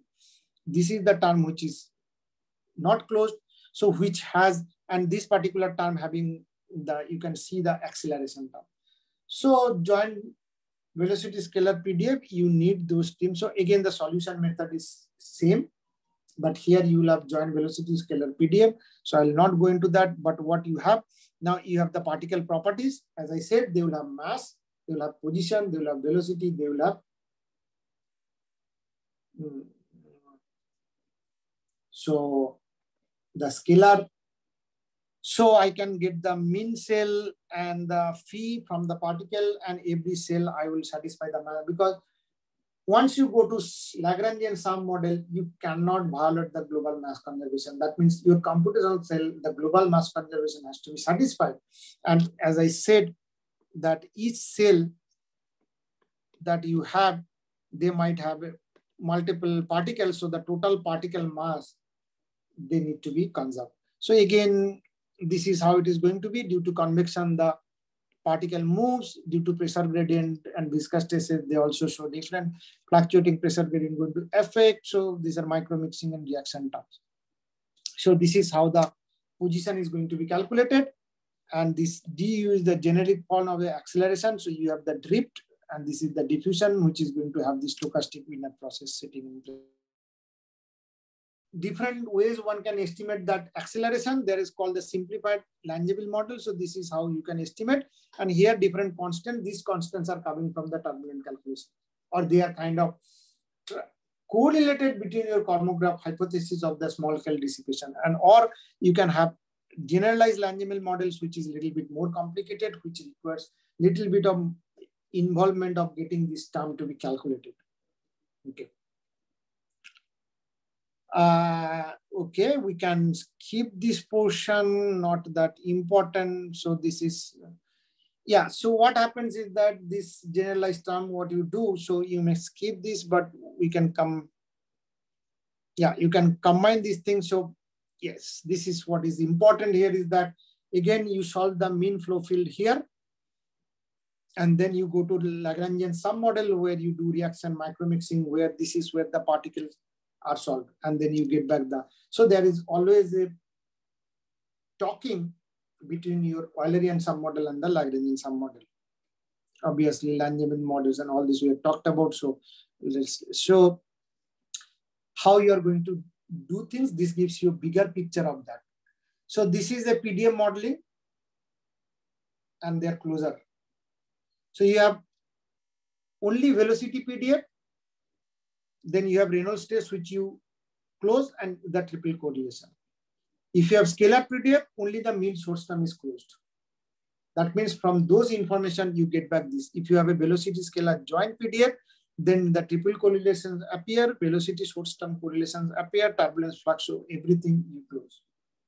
Okay. And obviously the you have fluctuating pressure gradient, time scale, micro mixing, time scale ratio. Okay, this we have already talked about. Uh, the IEM model, there is a micro mixing model, which is called coalescent dispersion model. That means particles randomly mix with each other and they go in pairing. Or you can come to Euclidean minimal spanning tree, which is the particle mixed with neighbors in a composition space. So this is quite popular. So this is known as EMST. EMST. So this is quite popular and known and uh, often used or because this is slightly better model compared to CD and IEM mixing model. So if you put them together in the efficiencies, so IEM, CD and EMST, so interscalar PDF relaxed Gaussian. So this case it does, all scalar remain in the allowable region. This all of them model conserve linear combination for this mixing in local composition space, only this. So you see there are some strength and weaknesses of different mixing models. So it's not like that they are, all of them are quite robust and generic in nature. But compared to that, EMST is little ahead of other two. So if I conclude this portion, what happens is that the in the PDF transport equation, your source term remains in the closed form. And closure of these transport equations are done through the particle-based method. Hybrid method numerically robust and convenient for use in combination of existing finite volume methods or finite difference method. So if you go to scalar PDF, then you use only the uh, randomness through the random walk model and use the micro mixing model to close the source term.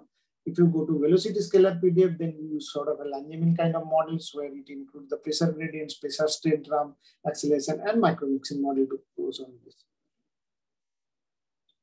Now, where the application? So applications, you see this is how the particles, so mm, this is how the scalar compositions are. So you see how nicely it captures the different frames and things like that. That's an, some example. And you can get back the macroscopic temperature and all the, or the mean properties of the system. You can get back temperature, you get back the species and things like that. Okay. So when it come here, so this is what we talked about. Now I talk about a little bit about the uh, quickly the turbulent premix combustion. So transport PDF system can be applied to any kind of uh, combustion model. So whether premixed or non-premixed, so that doesn't have a problem. So the premixed model already I have said that there is a there is a problem with that is the thickness of the premix flame front is very small. So you have this kind of a flame front where you have a reactant coming and so the burning this is called the laminar burning velocity which is a kind of a proportional to your mass diffusivity to the chemical time scale. So what it does is that you have a very small thickness so that gives rise to a challenge how to handle the premix flame front. Because the premix flame front what happens is that ideally in the premix combustion system you have your uh, fuel and oxidizer they are mixed before they come to the combustion chamber. Okay, so these are 1D premix flames. So mm, you, so there are different mass diffusivity of the system. So you see this premix combustion, how you look like the different zone of the, you have a preheat zone and things like that. So these are pretty much covered. But when you come to the turbulent premix flame, this picture I have already shown you, what it does is that it actually changes the flame front. And once you do, it's going to change your effective surface area and in turn the reaction source term. So that this is a typical structure of the premix flame. So if you look at an instantaneous flame front, if you try to see the main flame front, then you can see like this. So important, so there are two important parameter in the premix flame. One is the laminar flame thickness, which is delta N, and, and the laminar flame speed. And these would be the non-dimensional number, which are going to be talked about is the Schmidt number, Lewis number, Prandtl number. And they correlate with the your momentum transport properties. So Schmidt number is ratio between nu by d. This is thermal properties and the nu by alpha. So all these numbers they are going to correlate. And I have already talked about the turbulent Reynolds number. I have talked about the Damköhler number. Why? Because they are going to the Damköhler number or Karlovitz number. They are going to take care between your flow time scale, which is essentially think about the turbulent time scale and your chemical time scale. So if you have a characteristics flow, the time scale is your lambda by u prime. Your characteristics chemical time scale would be order of delta L by SL, which is typically in premix flame and delta L is your premix flame thickness, and this is the burning velocity. So your Damköhler number can be estimated like this. And here the turbulent landscape you have the lambda, the micro scale or Kolmogorov scale, then I can have Karlovitz number, which is going to be estimated like this. So then I have turbulent Reynolds number, and then I can correlate back with the other system. So important factors here which are going to play key role in the turbulent burning velocity, which I showed you earlier that ST and the turbulent uh, speed. So, I mean, how to capture this? So, I mean, earlier people used to assume fast mixing or infinite chemistry kind of assumption so that we quickly get to the system and then you look at this kind of, uh, I mean, with some assumption, you would be able to capture that product. So idea is that if you have a turbulent flame, this is what you get to see. So your surface area changes. So ideally you, your surface area changes and your burning velocity also increases to the turbulent level. And if you see the turbulent premix flame, so this ratio of turbulent flame speed to what happens is that the you use your mass conservation equation. If you have a laminar flame front, so this is the going to come. And if you have turbulent flame front, then you estimate the turbulent flame speed. Okay.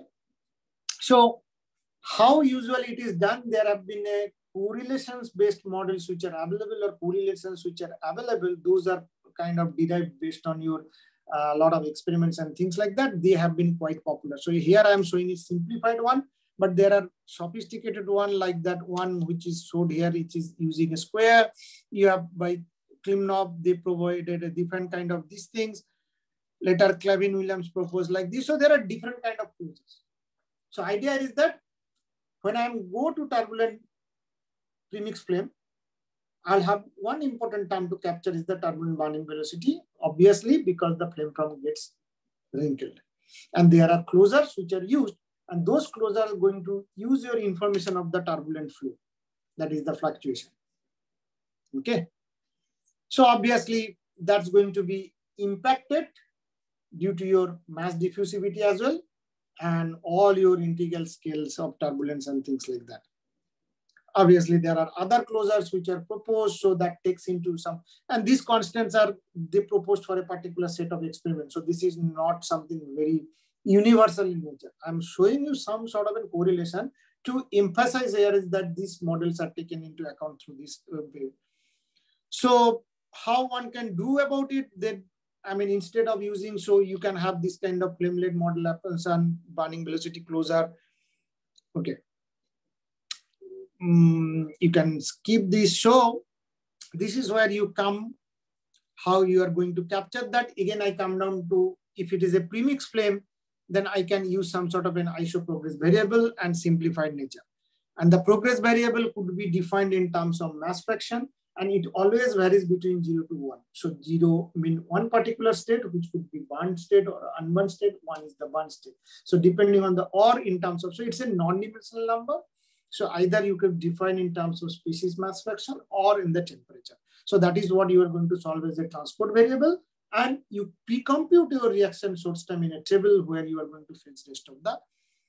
So in combustion regime, obviously this is your this is your product and this is your reactant coming and this is your burning velocity. So you need this information so that you kind of close these terms. So idea here is that you knew know your length scale of the turbulence, you know your smaller scale of turbulence, so you try to estimate through this uh, system. Okay. So these are the scale which we have already talked about that you have in the flow scales where you have mean flow scale, integral scale, Kolmogorov scale. You have flames where the laminar flame speed, you have the flame thickness, you have the time scale of the reaction. So the, these are the scale, different scale which will come to the picture. And this picture I have shown you because the chemical time scale is small, so you need the Damköhler number and Karlovitz number too. And what happens? You have a simple, nice flame structure here in the laminar and turbulent you have wrinkle. So this is going to create. So you have laminar plus eddies that is going to create the problem of the wrinkle flame shape. And that is what you need to capture. And obviously, once you try to do that, you need to take into account all this scale. And with this scale only, you would be able to so idea is that either you have the inlet boundaries where the energy is going to, so this is your energy cascading process. You come to the small scale where through viscous dissipation, you um, dissipate it out. And this is where the flame thickness where you are going to. So what is the scale relationship? This we have seen it earlier. So this is my epsilon, that means dissipation. This is going to, I am at the Kolmogorov scale, the velocity, then this is with the uh, the characteristic length scale with the Kolmogorov scale. So this we have already seen in the context of turbulence. So finally, it get get back me the you know turbulent Reynolds number, Damköhler number, Karlovitz number. Now I will bring in this SL and delta L into the picture so that I will correlate with my underlying turbulent flow field with my these things and turbulent intensity as well. Okay. Okay. So this is a Broggie diagram or Borghi diagram, which is known as, so you see the different Damköhler number and Karlovitz number. In premix flame, you have different kind of zone. One, you can have strictly wrinkled flamelet here, corrugated, they're distributed and well-stirred reactor. So you see the varying Damköhler number and Karlovitz number. That means premix flame is quite complicated to handle in that sense because it may, your flame conditions could be such that you may belong to some situations. So depending on that, you have to be careful about or so this is the Peters who has provided a modified diagram. But idea here is that this diagram talks about different scales based on Damköhler number and Karlovitz number. And if you go to the flamelet regime, then the thickness of the reaction zone and preheat zone is thinner than the Kolmogorov scale. So that means my thickness is smaller than the Kolmogorov landscape. So that poses me extra bit of challenge how to capture that and capture it effectively. And if you go to thin reaction zone, my Karlovitz number will having some range where the reaction pockets may not pass inner layer of the reaction zone. So that sort, it gives me a restriction. What is the range of this number where I will, and then similarly, I go to distribution zone when the unbound and in between bond, you will have the interactions between eddies. So the Karlovitz numbers is always higher than 100. Okay. So that's kind of, uh, I mean, so turbulent flame propagation due to heat transfer and these heat zones and things like that. So we'll stop it here and kind of um, discuss, I mean, finish the discussion to, uh, tomorrow. So if you have any questions, please, please feel free to, uh, I mean, type it or raise your hand so that I would be able to clarify. Anyone? So what we will do that, we'll continue this, I mean, then we'll talk about this, some of this, I mean, since premix flame, you see this different um, situation, then from here, how you handle the premix flames. So then I will move to the non-premix flame where we'll stop and then Professor Sabik will take it up for the sprays from there. Any doubt or query that you have? Okay, so if you do not have anything, so let's uh, wind up this session. So tomorrow I would take it up from here. Okay, thank you.